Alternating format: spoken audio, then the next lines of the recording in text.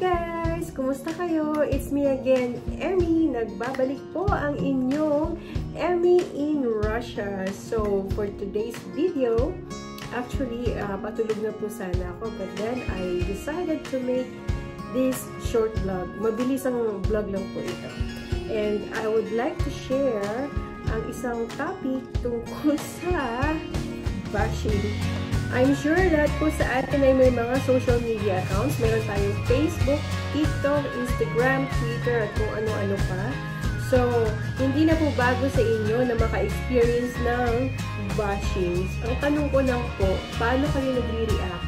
How would you handle your bashers? How do you respond to them?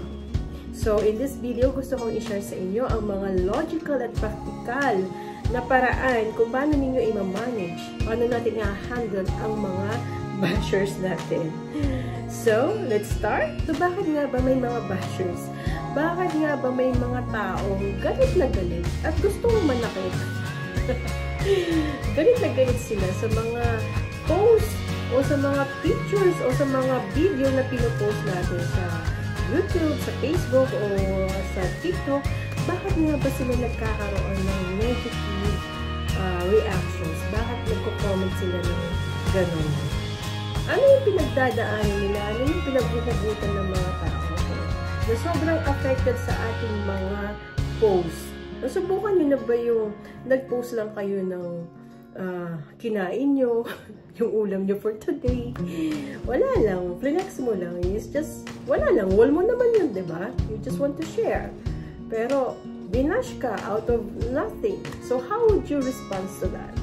Or kung nag-post ka ng selfie mo na you're just feeling na, ewan ko, today, nagmamaganda ka, you feeling like, you know, you wake up like this, feeling nice, you have a good energy, at nag-post ka, but instead of getting a positive compliments, you end up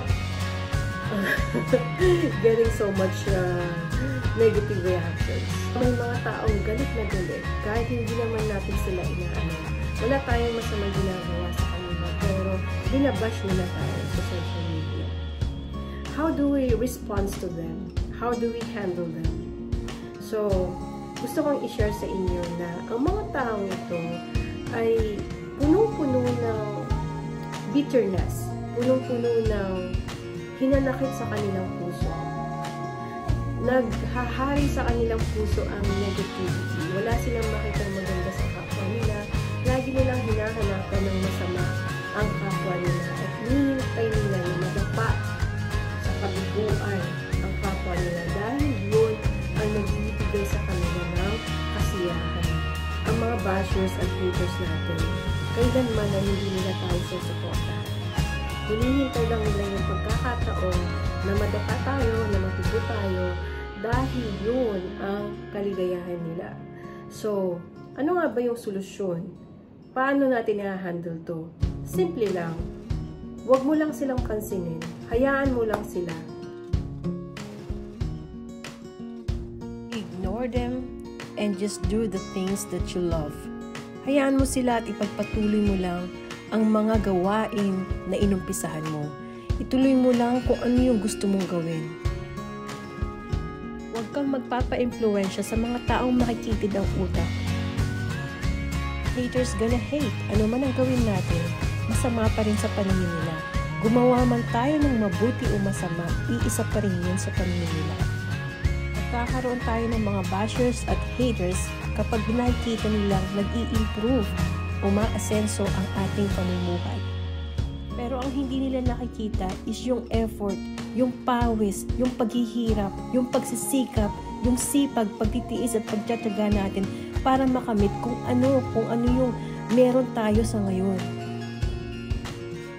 Kaya imbis na matuwa sila para sa atin, naninibog ho sila dahil nakakaramdam sila ng inggit at insecurities dahil meron tayo ng mga bagay na wala sila. At dito nagsisimula ang galit ng mga haters. Habang naiiwan sila pababa, gusto ka rin nilang kilain pababa. And the best way to deal with the bashers is ipagpatuloy mo ang iyong pag-angat. Ipagpatuloy mo ang iyong pag-asenso. Magsikap ka palalo. ipakita mo sa kanila na may mararating ka.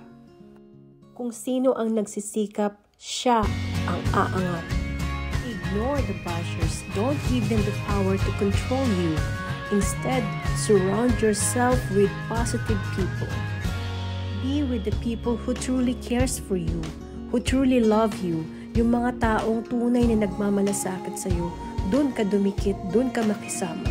Dahil ang mga taong to, ang tunay na susuporta sa iyo para makamit mo ang mga goals mo so sa yan, alam niyo na guys kung anong gagawin ninyo sa inyong mga bashers.